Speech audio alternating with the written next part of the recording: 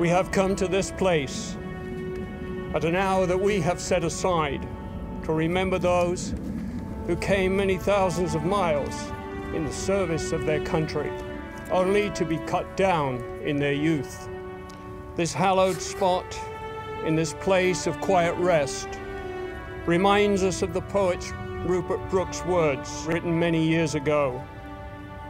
There is some corner of a foreign field that is forever England.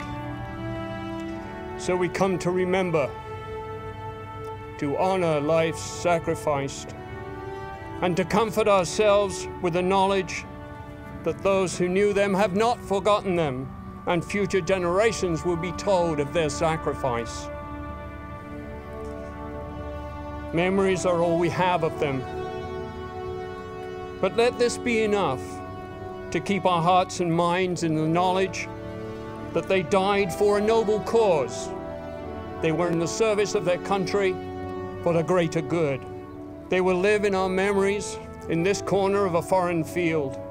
They will live not because of some heroic deed or some great heroism to save another, or even a greater talent that was given them by their Creator God. No, they will live on because they represent for us what is a time that we hope the world will never, ever witness again.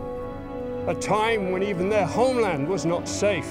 A time when the United Kingdom was threatened. They did not come here to die, but to learn and to live.